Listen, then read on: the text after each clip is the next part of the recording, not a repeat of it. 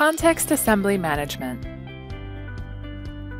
Components and subassemblies can easily manage the show hide status, color, transparent, external datum, etc. Now, blank one component and it will not affect the other same components. Also, the object visibility can be recoded into the customized view.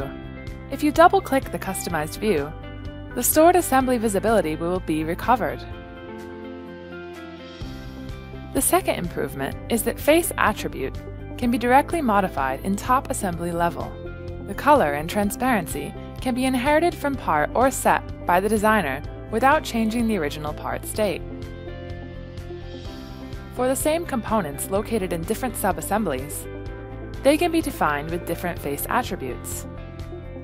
From the right menu, you can quickly switch the transparency of a component.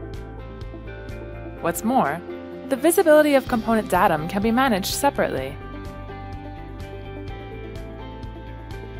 With the external datum on-off option, you can quickly turn off all displayed datum.